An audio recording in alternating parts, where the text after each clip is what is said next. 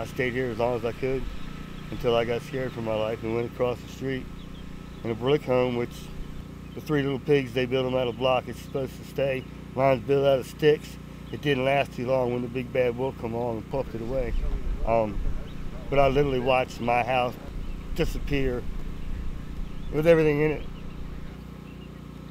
hmm Right before my eyes. You watch things starting to fly. Uh, lanai went off. Part of the roof went off. The rest of the roof went off. The walls caved in. And here I am to pick through what I have left. Never ever want to do it again. So once I get my material things, which all can be replaced by life, um, I think I'm out of Florida. It's further north, somewhere out of the zone of being devastated like nothing else before.